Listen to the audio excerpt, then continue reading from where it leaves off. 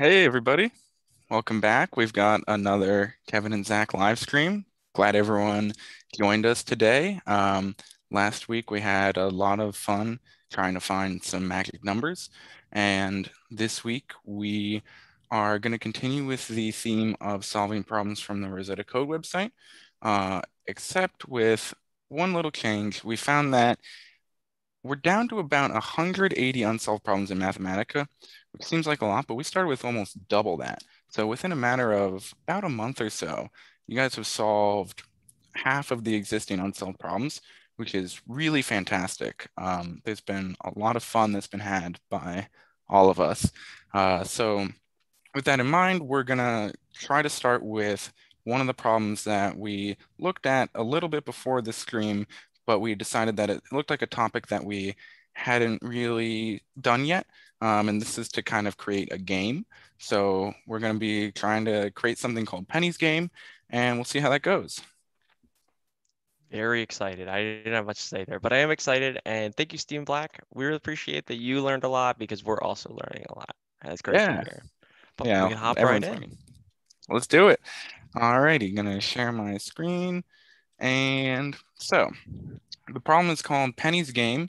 Um, you might think that it's related to flipping pennies without the E, but it turns out it's actually named after someone with the last name Penney. Kind of crazy. But you can So- flip pennies to play the game. Yeah, it is. It is a game where two players bet on uh, heads or tails in fair coin tosses. So you can think of it either way, I think. All right, so what we've got going on here is kind of a betting game on the result of flipping a penny or, or a coin. We'll just say a coin. So um, we're gonna But flip. it's a fair coin, which is It's important to know. So yeah, just that means their odds are, you know, as near to one half as we can for either side. yeah, you're equally likely to get heads as you are to get tails. So um, there, we're gonna flip a penny as many times as we can until we get a three penny sequence that we bet on beforehand. So say I bet that heads, tail, heads is gonna show up first. Zach bets that maybe heads, heads, heads is gonna show up first. Uh, or actually, let's use the example I have right here. So say that I was betting on heads, heads, tails, and Zach was betting on tails, head, tails. If we start flipping the coins and we get heads, tails, tails, none of ours have come up yet. Then a heads, still none of them. Then we flip a tails. Oh, look, the last three were Zach's combination, so he won the bet. Um, cool. In the game, we're actually running, uh, we're, we're playing against a computer. So it's, it's human versus computer. And there's a few different requirements for the task. So the person who chooses the sequence should be random. So either the computer will choose first or we will choose first. If the computer goes first, it- it chooses its sequence randomly. If the human chooses first, then the computer plays an optimum sequence based off of what I chose. Uh, so this is kind of getting into some sort of game theory. We're not super sure how this works, but we can tell the computer how it works, basically. So It, it's a relatively simple rule, but Mhm. you're just counting, you're using whatever the other player chooses as their, you know, last, yeah, no, their first input to dictate what you would choose for your last input, I think is how Right. works. Yeah, it's it's somewhat like so if I as the human chose heads, heads, heads to be mine, then the computer says, okay, for heads, heads, heads to show up, first heads, heads has to show up. Um, but if that shows up, I want to have already won if tails came up before that. And that gives him a, a much bigger odds of winning. Um, for some of them, it's actually pretty significant. He has a seven to one chance of winning if you put in heads, heads, heads. It's only two to one for some different Yeah, it's ones. interesting because especially in this first one, Mhm. the only time first player could win before the second player, you know, if it was totally like, you know, things were working out for him, is in the first go. You're right. For there to be three heads, then there has to be a tails in front of those three heads. Unless it was the first three flips. So yeah. that's why the second player's choice is better in this case because there's more likely. Obviously, I guess their odds are ever in someone else's favor and you know the other person may win. But this is how to maximize your odds in this fair game. if you know what your opponent picked, yeah. and the rule, and I guess the hard fast rule for this is that you choose the opposite of the person's first one, and then you do their first two Yeah. again. You, you flip this one and move it to the left. Yep. Kind of, somewhat, yeah. Yeah, and we'll figure that out a little bit as we get closer. Um, okay, and it also just wants us to print out the successive coin tosses. That's easy. Mhm. So the first thing we need to know how to do is flip a coin. All right. And one way that we can do that is choose a random choice between heads and tails, um, where we've represented heads and tails just as the letters H and T. So there, a couple times I chose a random heads or tails. We can make, say, a list of coin tosses. We got five coin tosses here, heads, heads, tails, heads, tails. Neat.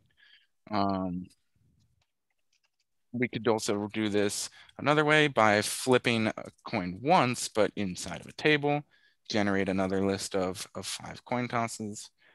Okay, cool. So that's a few ways that we can do that. We've done it. Fun. So that's basically the whole game. Yeah. yeah, that's that's basically the game. Now the thing that's we have to do now is we need to create our sequences. Yeah. So So we, we need to be flipping this coin only until we get to the sequence. Yeah. But let's make let's make a random sequence. Let's say, you know, we're playing with our computer. And Mhm. so theoretically the second player's choice, we can just say for now that it's two computers against each other. So the computer is going to choose something random out of those three. So we could just make a permutation of three of them, and that could be the first computer's choice. Yeah, like the computer could guess, I think it's going to be, well, we can even just use this example. Um, computer, someone guesses it's going to be heads, heads, tails. Uh, and we're looking for whether that shows up in here, kind of. Um, and one way we can do that, let's say this is the coin tosses. So, okay, good. It actually does show up in there. So we can turn those tosses into like a, a full string by doing string join. And okay, cool. Now we've got one string that says HHTTT. And now it's easier to look for HHT inside of this longer string um, using, let's see, probably string contains Q. Yeah, cool. I was looking for string contains. It turns out it's actually Q. So it's only ever going to return true or false. If you joined us a couple weeks ago, we actually created our own Q function called smooth integer Q, which is on the Wolfram function repository right now. Uh, and so what the Q functions do is it returns true if something is true and false otherwise. So there's only two options that you can get from it. So for example, um, we're going to look at if this string here contains the computer's guess, which is HHT. And good, it's true. Now it doesn't contain, for example, HTH, right? That's false.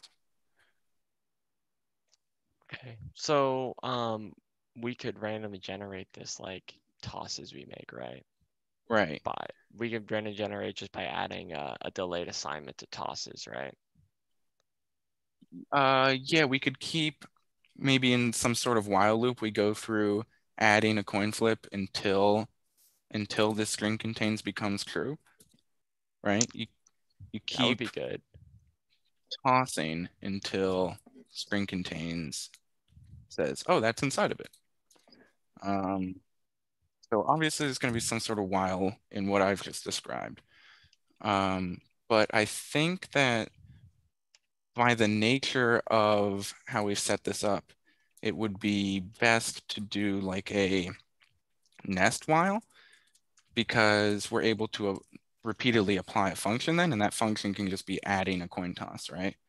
hmm Um, so the way the, the function that we could have to add a coin toss could be, let's say, string join random choice of H and P with what we're adding. And we want what we're adding to probably be first there.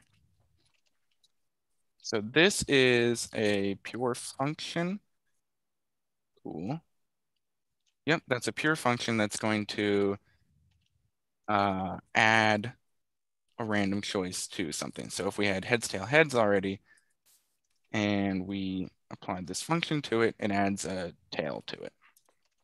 If we then apply it again, this is getting a little bit complicated, but basically what I'm saying is two outputs ago, which was the function, applied to one output ago, which was heads, tail, heads, tail, adds a tail this time. Okay, cool. Um, so what we want is this function as first bit there. I'm gonna go into the documentation here, see what all we passed to nestless while. So, okay, basically what we've got going is nestless while applies this function f to expression while this test is true or until it's false. Two different ways to think of it. Mm, okay. okay. Neat. Um, so we could apply it to, I think we probably want to start off with just a random choice, right? You, you start with just a single flip. And then you would start yes. adding more flips until until it does contain we'll just say, for example, HTH. Um, but I think, okay, so this is while. So this does this while that is true. But we want it to do it, uh, let's see, until it's true. So we just say not that. We basically want the opposite of it. Okay, cool. So what we got here is we flipped tail, then a head, then a tail again, then a tail, heads, tails, and then we flipped to heads, and that gave us heads, tail, heads. Okay. So I think we basically did it, right? We, we at least generated a way to get all that information. Well, we made one. Play the game. We played the game with ourselves. We yep. probably want to introduce another player. Right. So um, I think we could probably say string contains this string or also recommended we could just start with an empty string too. We don't have to make a random choice to start. Oh yeah, that's a good point. Yeah, I guess this would work the same just with one extra step.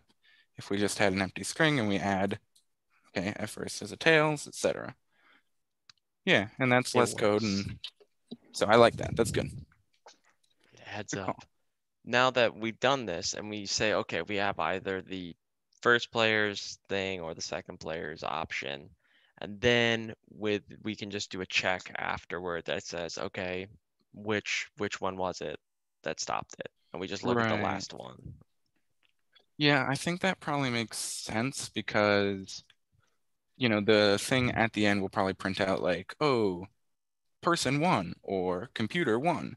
Yeah and so part of it was we had to we want to show the each successive flip until someone's case comes up. Yeah Mm-hmm. So we could we could even like if we wanted to really like show this off, we could have it like print instead of showing this nest while loop, we could have it just print like in a column. Each, yeah, like that. That shows each successive flip, and then we get the end. We say, all right, player one is the winner because, or in this case, it's player two is the winner. Yeah. Mm-hmm. So, um, why don't we kind of loop back and talk about how we're going to input these mm, strings. Okay. Um, first thing I'm going to start with is probably a module. And this is just so that we can have local variables uh, that we can assign to the input. Um, we know that the player is going to input some value. That value has got to be stored in some variable. It makes sense to have that variable, variable be local so that every time you run the game, it um, basically the variable comes into existence then when you run the game instead of hmm. being global. So module. So now we just define the variables that we're going to use. We can always add some more later, but. Would it be correct to say that module is similar to maybe how in another coding language like Python, you introduce a variable locally in the definition of a function instead of in a larger sense? Yeah, I know that for sure, like in oh, Java, you'd have different classes, right? hmm And a variable in a class isn't going to be accessible to by calling that same variable from another class Mm, unless you define it as global. I, I think is how it works. It's been a while since Mm. I've used Java. Yeah, it But- makes sense. So every every variable that we're defining in this notebook, Mm-hmm. excluding this ones in the module, are global, which means Yeah. that if we open another notebook, we could call these variables again. Yes, and I think this will work. But basically what I'm doing here, cool, is I'm saying, show me all of the variables that start with global as their Mm, first okay. definition. And I've already defined, up here I defined something computer. So it's that default is that's a global variable. And then later I defined something called tosses. Uh, we can see more about those variables using question Oh. mark, which is information, I think. Pen- I don't- Question mark for when you're confused. yeah, Yes. for when you're confused. And it'll tell you, oh, cool, it's a global variable named computer, which has the assignment that it's a string HHT. Um, that's its full name again. Cool, cool, cool. And there's some slight differences. I I was always super confused. So you've got module. If we scroll down to similar ones, there's something called with. Um, and it seems like they do the same thing, but the difference is actually uh, there, there's there's a big difference. I think Um, I was using this earlier as with you can actually when you assign them, you can access them outside so they're global variables. yeah, the difference is, is super subtle. Um, it took me a while to get it. So let's let's just say like we'll square a number. This makes sense. And if we did this with module, it would do the exact same thing. Um, Now if you but if you called X, you know, if you called X now. yeah, X is would- still undefined globally, I believe. Um, Mm, But the main Okay. difference, at least the the main difference that I use in my coding is that I couldn't, for example, say, okay, we'll square x and then we'll reassign it to 15 and try to square it again. So mm.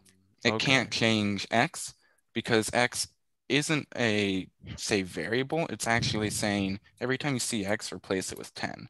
And it doesn't make sense to say 10 equals 15. Okay. But in module, I could I could do this. These are actually local variables. So here I squared it, didn't print that. Then I set it to 15 and squared that and actually got 15 squared. So that's that's at least one of the biggest differences I found is that within a module, you can reassign variables. And that's why I wanted to use module for our function because we'll be reassigning, say, this in variable to whatever the person inputs. And then we'll be assigning the computer variable to something based off of that. Okay. So Yeah. we're so if we don't have an assignment, we just they're just variables Yeah. that are unassigned that we're using. Okay. Yeah, we're saying here, I want to use some variables, some symbols, and I want them to be local uh, Mm, instead of okay. global. So we're just changing the scope here. Instead Alright. of the weird with thing where it's a little complicated. Yeah.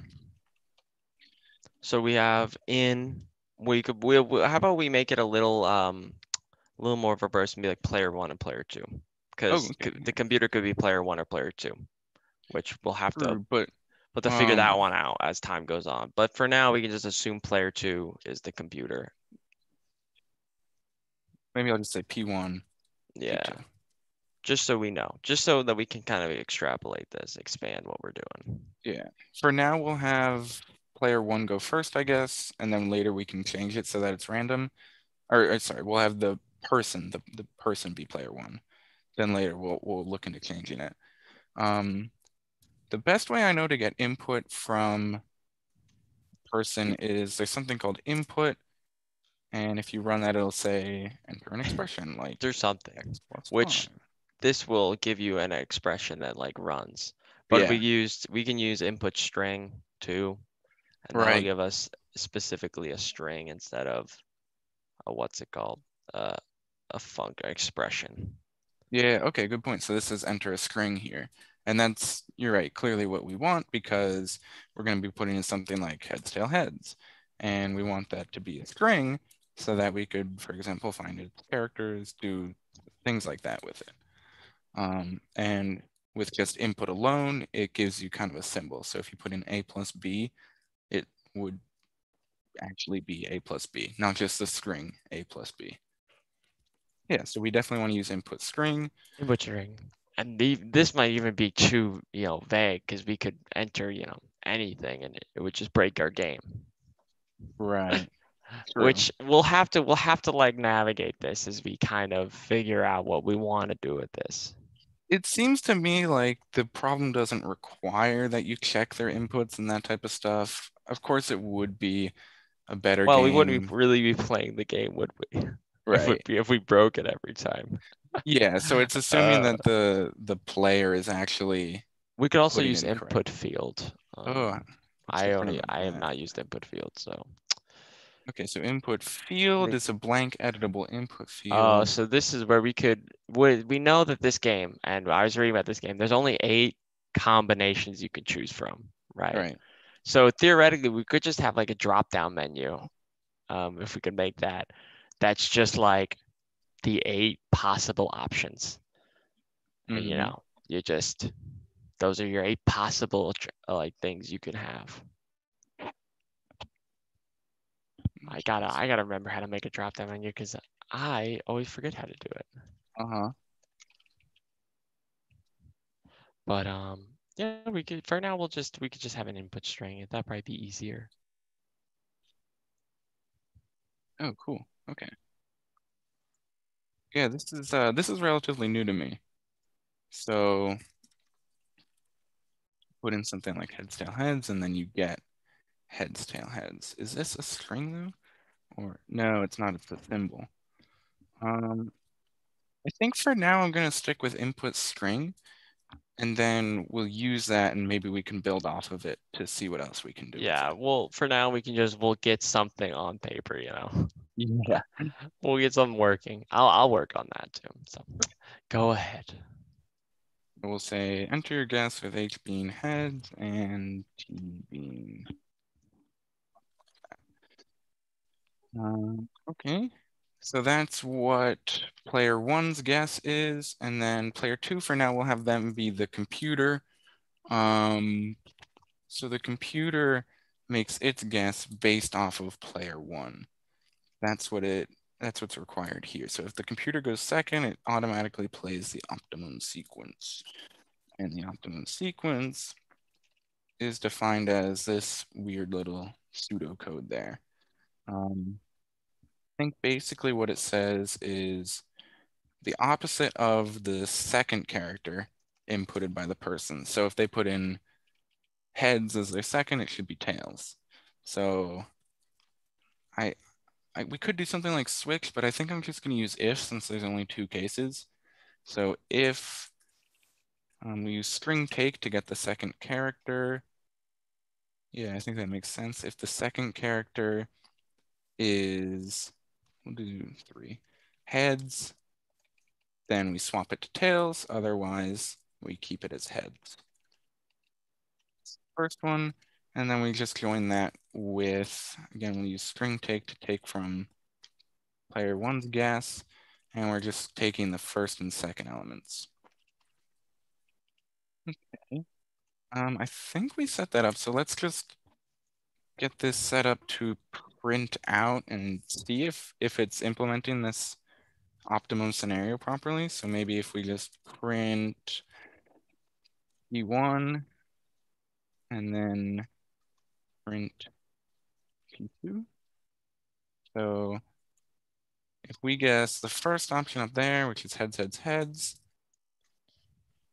then, ooh, that's not right. The computer should be guessing tails, heads, heads. So what went wrong?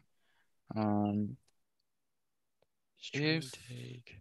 if the second element is H, oh, maybe, Try just printing that first and seeing what it does. so the first, the second element of this is, oh, okay, it's taking two until the end. Uh, okay, I should have read the documentation here. You want to put it in a list. You want to put it in um I'm sorry, curly brackets. Yeah, I was going a little too that. fast. So it with the way I had it, it was taking the first two characters. I wanted to take exactly the second character. So documented example right there, take the nth, nth character, boom, it's, yeah, so great. Um, and I assume that my string take, yeah, later it was working as intended because I actually had it, there was, um, it's difficult to get that wrong. All right, let's try that again. Heads, heads, heads. We put in heads, heads, heads. We get out tails, tails, tails. Cool. Yeah, I, I guess we can assume it works. I was thinking of creating a table with all these cases, but heads, tails, heads gives heads, heads, tails. I think it's pretty safe to bet that we set this up properly. Yep. Okay, cool. So we've got the input. Um, and then we up here had built the game somewhat. So we'll get rid of our little test case right there. Well, actually, it might be nice to keep that in. We can keep it for now. Yeah, let's let's keep that in. We'll say like um player one guest P1 for a little space in there. And we'll say player two. This is a little bit different from the stuff that we've done in past weeks because it didn't really matter how it looked, right? Because now we're making a game before we're just trying to solve like a problem or create some given output. Um, but when you're creating a game, you want to make the user experience somewhat nicer, right? So it's it makes more sense to say something like here's players one instead of just printing out like heads, heads, tails uh, and figure it out, figure out what that means. So yeah, this is something different than we've done. I haven't done a ton of stuff like this, so it's fun to go through it and, and work on a problem like this. If I change this to P1 and P2, let's see if it just works. If I guess heads, heads, heads, then, ooh, I got close, but I, I lost. It looks like, yep, the computer's guess of tails, head, head eventually won. Okay, that's kind of neat. Which I mean, kind of makes sense because uh, it, it picked the right one, which is what we were like, you know. Yeah. Yep. And computer computer is pretty likely to win if you put in all heads or all tails. So it's not a very good strategy. Um, let's let's try something where we have some better odds. Heads, tail, heads. Ah, we actually won. Okay, cool. So it ended up being tails, tails, heads, tails, heads. Neat. Um, but we probably want to, let's see. We probably want to have something after this that says like player one one or player two one, something like that, right? Mm-hmm. Otherwise, it's like, uh, I'm looking at who won.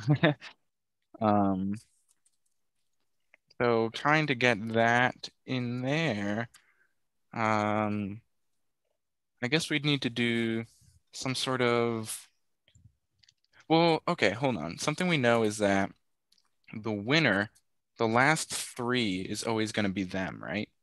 Like here, yes. player two, one, heads, heads, tails, so, so it's we, the last we three. don't need to, we don't need to necessarily test in line. We just need to wait till it ends and then look at, you know, right. what what's here.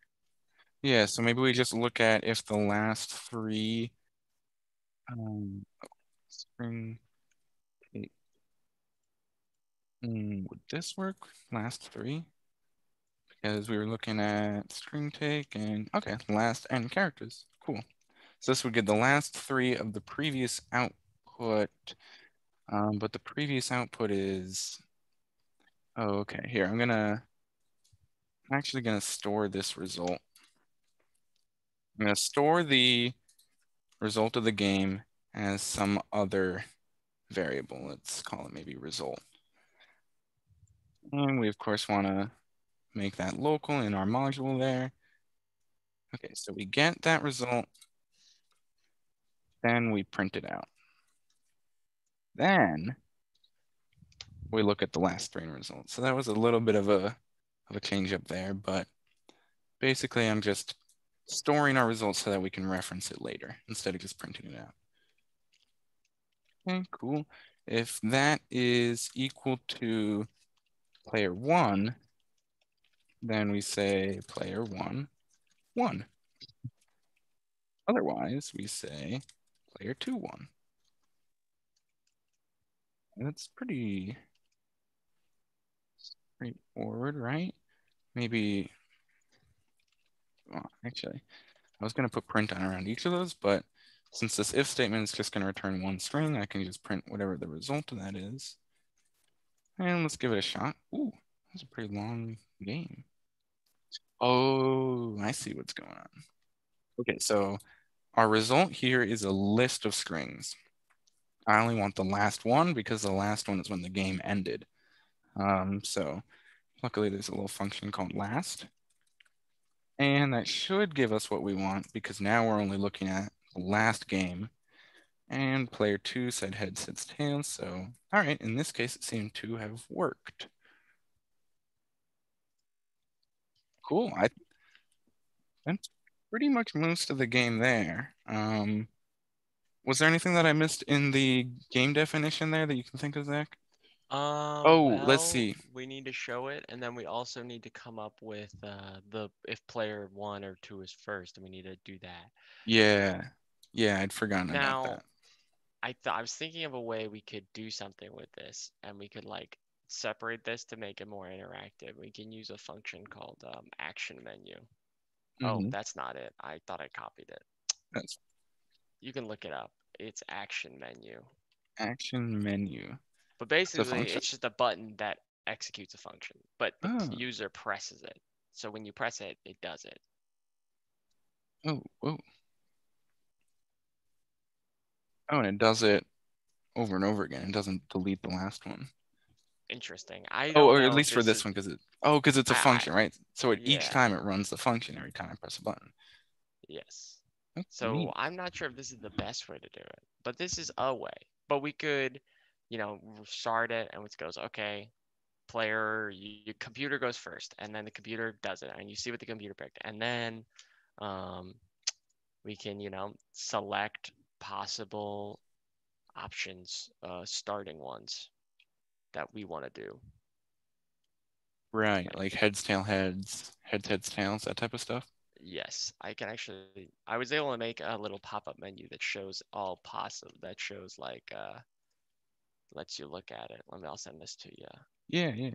Oh, that's not it. Continue. No, I'm sorry. There you go. You check that out. Okay, so this is what a pop-up menu might look like. Oh, So it, this is just the first option. This is making three tuples, or I'm sorry, every possible tuple Mhm. um, of heads and tails of three, and then it just string joins it so it's readable. And this is you know these are the eight possible options of your of Penney's game with three bits. nice. Okay, yeah. So we could say like pick a. I don't. I wouldn't change that one. That would break it. That Oh, actually. really? That's the first. You have to. You have to give it the first option, in in pop up menu. So you have to give it the first option. I'm from what I understand, you can put this in an input field, and then it'll like you can have it be there.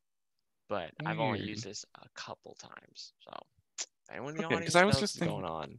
Yeah, I was thinking since like here they name it print factorials. Is Well, this is an way we could- action menu. This isn't a pop up menu. Oh, oh, okay. Pop. That's it's pop up menu. Okay. So Neat. we can yeah, so you have this, you can have a dynamic, um, and that'll that'll save your variable like it'll rerun, it'll like rerun everything depending on the variable you pick. But I figure we probably don't want to do that. We probably want to have like uh, you know, a thing that or some like delineation through the process where we're like, okay, um, you know, run this. Okay, now the computer's first. You pick yours. Okay, you pick yours. This is what you want. Press the button to play the game. Mhm. And then you can press the button again and again and again and again if you want to play the game. I'm just here. Oh, cool. So if you So- change val, it'll it'll now if you rerun that definition or that uh cell, it should change it. Oh, yeah. And if I say that it's dynamic, then it should change automatically. Yeah, so I change this to HTT, and then we get, oh hey, now it's HTT. I Yeah. change it to TTT, and it's cool. It now has that value. Okay, neat. Um, so this could be how the player chooses, basically, right? Yes. Like, for example, instead of this, we could say this with P1. And then we'll, whoa. oh yeah. So here, so here's the only thing: is it's Uh-huh. going. You need if you set it to dynamic, it doesn't assign anything because you haven't, you know, used your menu yet. So Right. you need to give it a definition to start, which is part of the confusing part. I I have not entirely used this. I'm not, you know, an expert. Obviously, I Mhm. think we're learning. Yeah, no, this is new for But- everyone, I think. we're uh, we're getting, we're just testing this. Yeah. Okay, so I was, oh, I was thinking that I'd get this pop-up menu and then I could make my choice before the rest happens. But I guess if you want that, you would probably need the action menu, right? This is why I was thinking of the action menu, where it's like, okay, if you want to do this, then you do that, then you do this, then you do that. It might Mhm. be better to have like a, a notebook definition of this, where we're not even using a module, but it's just like a total notebook thing. I guess Oh, is right. how it works. I don't know how to explain it. We be like the same as saving it to its own Python file, and you just call that. You would just- run it and it would open a new notebook where you play the game. Maybe, or maybe that, or maybe even just like uh, I don't know, just a definition, a rolling definition, a global definition of it. Yeah. would be the best way to put it. Mhm. Yeah, I um I don't think maybe we'll get to that, but I dare someone in the audience to, to try to do that. well, we're gonna try to make something out of this, but at least Yeah. we made the game that works, sort of. Right. Yeah, we had at least this part works up to um, it doesn't choose at random who the first player is. Uh, so we still need to get that functionality in. Um, let's see, maybe we could just do we would need to choose who goes first Oh. and There's then based off also, oh, I'm sorry. There's a new function that just came out. I guess this is with 12.3. It's experimental right now. Um, so it's it could it may work, but there may be some issues. It's called ask oh ask function. that's new to me. Yeah. I'm gonna oh nope, I just I copy that. It's ask function the one below. Whoa, experimental. Watch out. So this, I guess, if we you can ask multiple things, I think is Oh. what it's. So if we ask for multiple things, and it'll be like, oh, ask for a number. Oh, Oh, cool. ask for a what? Which, if we oh, if we try running this, I, I'm actually Mhm. very curious to see this. If we X type in X number, and then submit, will it go to the next one? oh, and then Y is I think this is the way to go. I think this is the way to do it. So could I then? Oh, it adds them together. Okay. it'll do your function with it, which is we we have a function here that runs it. So if we have an ask in the front of it or an ask like out wrapping it that says, okay, what's P1, what's P2? Okay. And it and we can even have it randomly assign P1 is first or P1 is second, and I can be like what's printed to them or to the user. Right. Um. Say computer is first, computer chose blank. Yeah. Yeah. Okay. So would we? I think we'd still have this whole module inside of the ask function. It's just that instead of this, we would have P1. We'll see. I think we may have to move it out of the module, which may be what Oh. we need to do. But I don't know yet. Let's test it.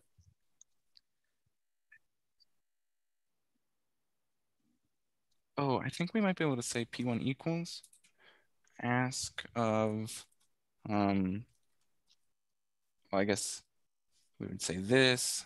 And Goes to a string, right? Yeah. Let's see what happens. Whoa, oh, it just. it's an ask function. okay. Well, did we ask? Um, I think um I think we need to uh I think we need to put it in a uh move it out of module. Oh, hold on. Oh.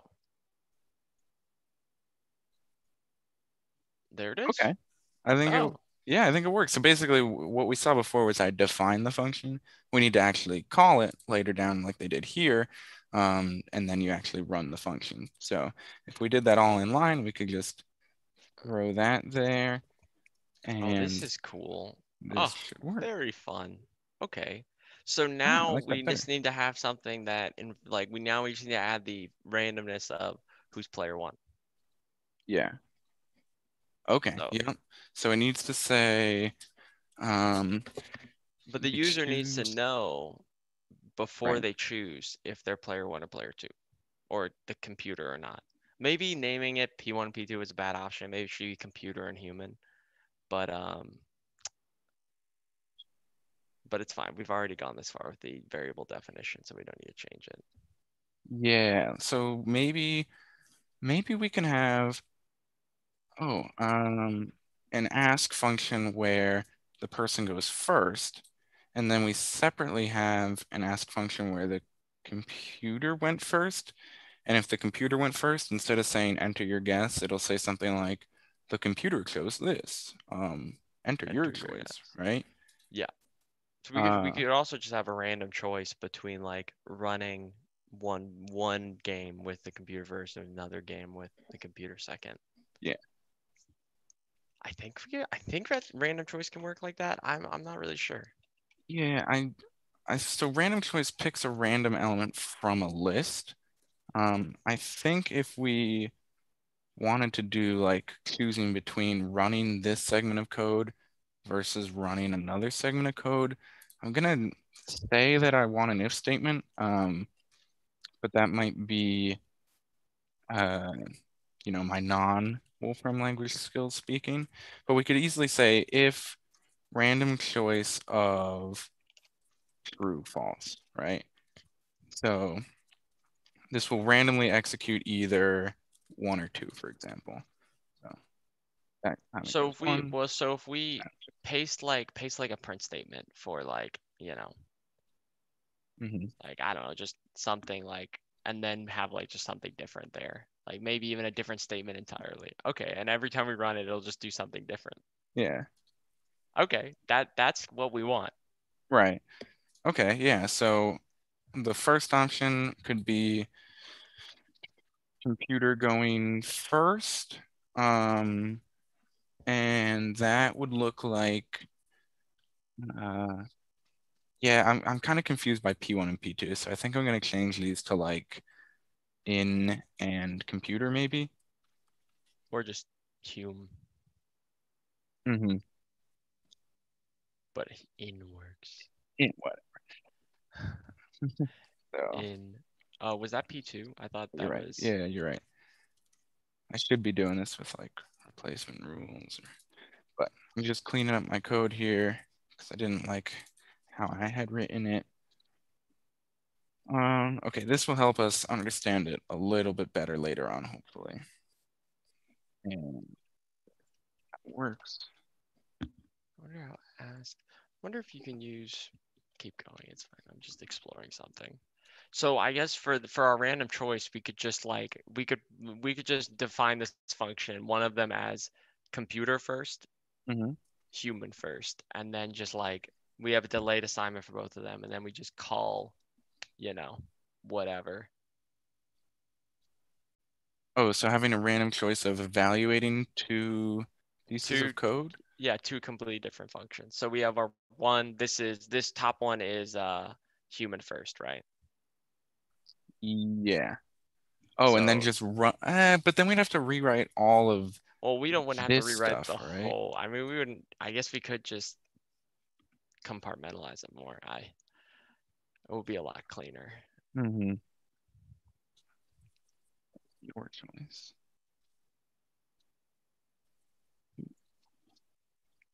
Um, yeah, I, I think I'm gonna do the if statement and then we'll assign the variables inside of here. So the first one is exactly as we have it. We'll say that that's, or maybe we'll do that as the second one. We can work on the first. No, I can't. Okay. I mean, So- one or the other, you know. Yeah. So, So either it's gonna do all this, Make sure you you say, and when you're asking, make sure you say enter your guess of three, three Oh, yeah. flips. Mhm, Yeah. Yeah, there you go. All right. Okay, then in the second choice, the computer goes first. So we have computer being, well, this is pretty easy. It would just be a random string choice, ran, string join, random choice, heads, tails, and we'll get three of them, right? Yeah. Then, then we would say, can we print something now and then have an ask? Could we could just string join in the ask because it's just a string. So Yeah. you could just enter your guess, the com enter your guess, the computer entered, you know, whatever. And then just put a quotation and then yeah, Mhm. string join comp and then string join space after. There you go. Perfect. If we run should this, Probably work. if we run I'm gonna this, have we'll to see have it it inside the module here. Oh, this is getting Oh. ugly.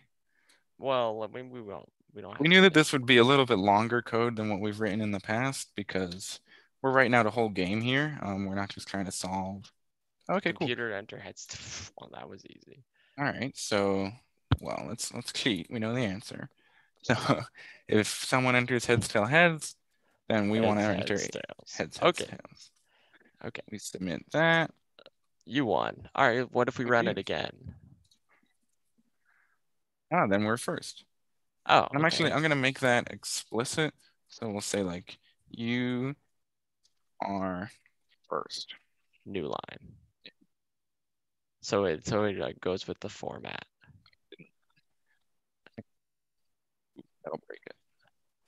Whoa, computer no. guess H34. Oh no. So- Well, all right. What I did was actually bad, and this demonstrates why you want to verify the input.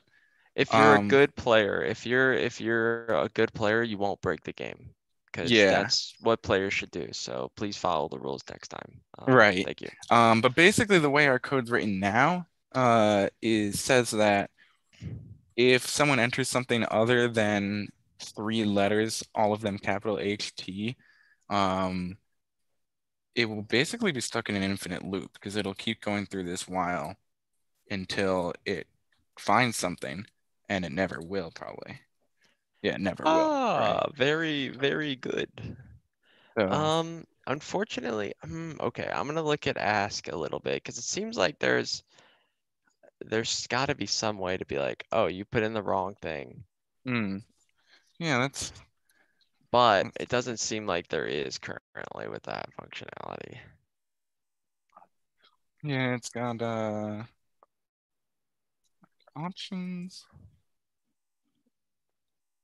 Um, yeah, it doesn't. It doesn't seem pretty like there's any way to check, which is kind of unfortunate. Are you gonna ask append? So we could, um, I mean, you could always just put an if statement. What you could do is, I mean, another if statement, which we, which may be not good, but you could always just put another if in like, that says like, if in is bad, break. Right. Right. I'm not sure what, I'm not sure if there's a break function in, in Wolfram as the way I understand it in like Python or something. Mm-hmm. Yeah, no, there is a break for sure. Um, like while While X. I don't know. That might be not right.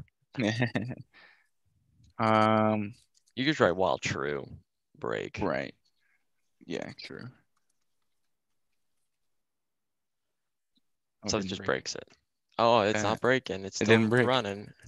oh, no. Oh no. okay. Oh, you gotta do a break. Okay. Yeah, yeah, that makes sense. So that's just a symbol there. Uh, it doesn't really Okay, mean so much, that's okay. That's actually that makes our life a little easier then. Go uh, go back to our function then. Mhm. We don't even need to do this in the statement defining in or comp. We could just do it in right when we start playing the game. So right before result, we could just say, oh, if it's not head, if like it contains something other than heads or tails, right. boom, we get rid of it. Like I would say like you you put in a bad thing. you did a bad thing. Well, Right. we could put it in our outside of our nest while loop. We could be like, if bad, Right. if bad, do not start, do not go. Yeah, so what are the things we're testing for? The length has to be three, right? Yeah. So if string length of in is not equal to three, And we could add or or else? uh, string contains string contains q. Ooh, I know. What about we could do string count? We could count up all the H's, count up all the T's, and the number of H's and T's has to sum to three, right? Oh, that would make. That would be smart. Uh, so does that do what I think? String gives a count of the number of times. Oh, it's Pattern. just a count. Pattern. Yeah. You want to do patterns. You want to put in a list form. Would this? Um, So if you put it in a list, I think it's gonna give you what you want. Oh, ooh, okay, never mind then. You're right. there, there's five H's and T's, Okay, cool. three of them. Okay, I think that's exactly what I want. So this is counting up the number of H's or T's. Okay, so then that should be that. And then so that if that is true, it's gonna run our code. And then if it's not true, Mm-hmm. you broke the game. Sorry. Right. So if We have- did the We have a thing, program to restart. print bad input, try again. And then we just need to have a, break.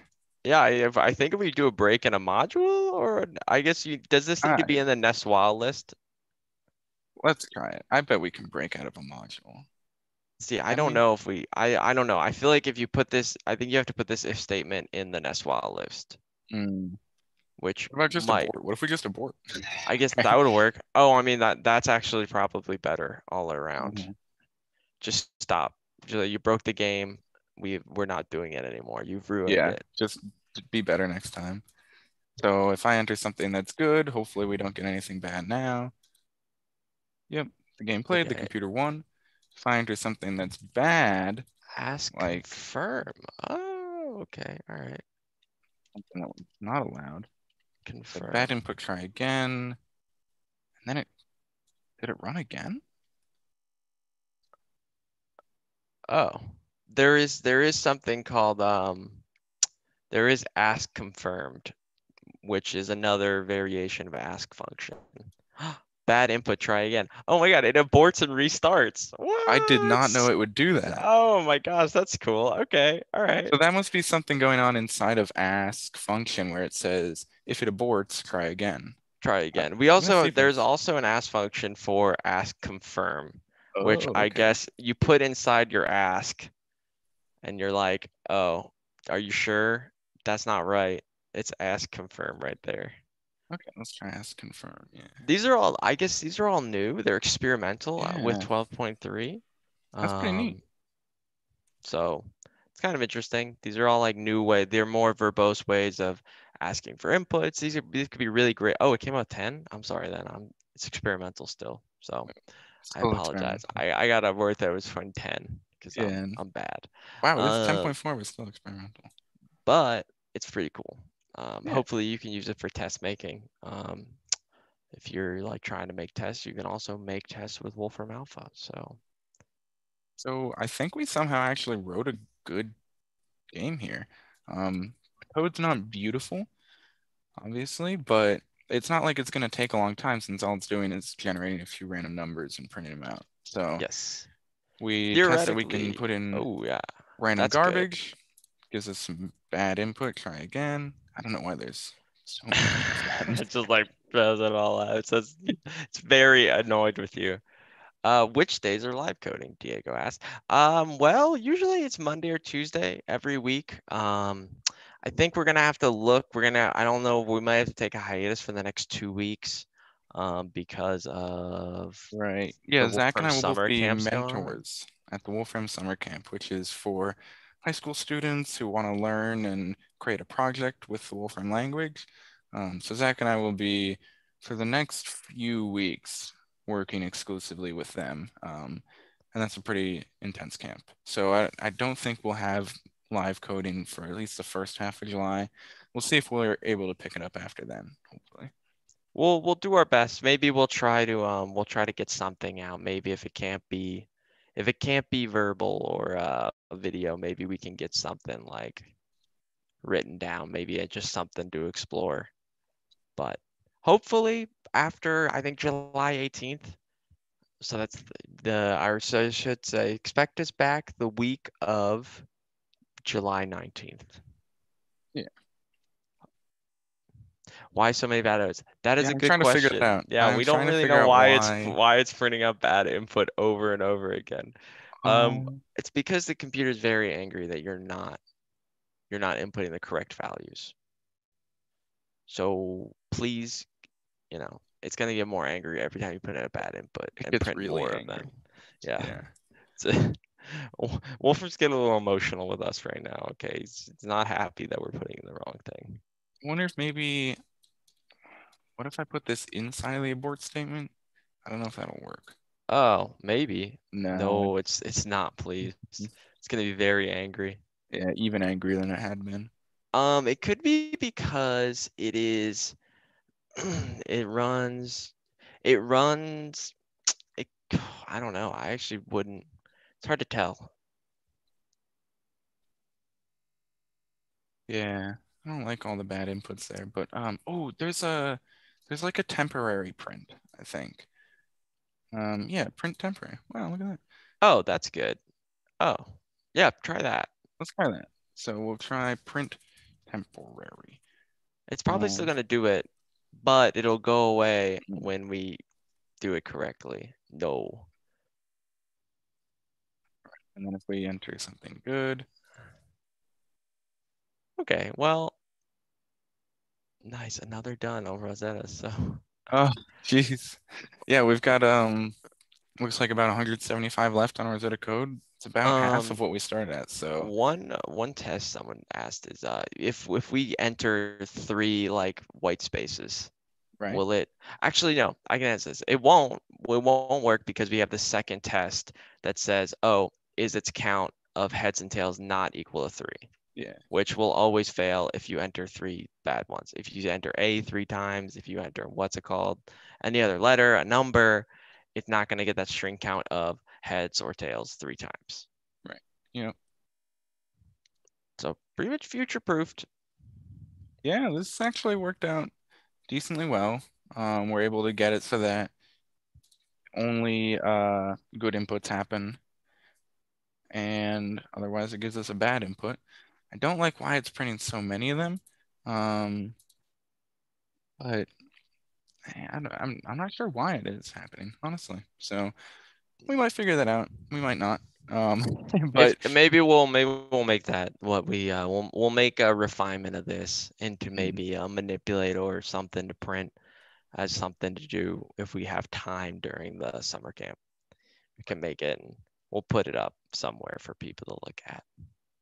Yeah, but thanks again, everyone, for tuning in. Uh, I I know I had a lot of fun again. Um, this last month or so has been really productive, and I hope to eventually see you on the live stream again, maybe closer to the end of July. Yeah, thank you guys for all of your positive uh, feedback and your help with the code and just helping me, someone that hasn't used Wolfram language really seriously until the beginning of 2021. You know, thank you for all your help and thanks for listening.